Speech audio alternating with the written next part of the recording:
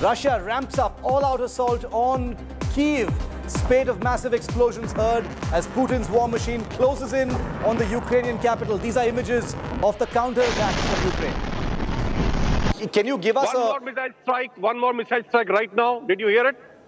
very, could you hear it? very faintly, very faintly, but we It could is- hear it. it's- yes. It's, it's about 15 to 20 kilometers and it's also a cruise missile. Putin's menacing and fearsome invasion army tracked from space in 3D. 65 kilometer long convoys of tanks, armored vehicles seen heading for Kiev. It's an India Today world exclusive. World's largest aircraft, another casualty of Russian attack on Ukraine. Images confirm destruction of the single Antonov AN-225 Mriya at the Hostomel airport just north of Kiev. War exposes Ukraine.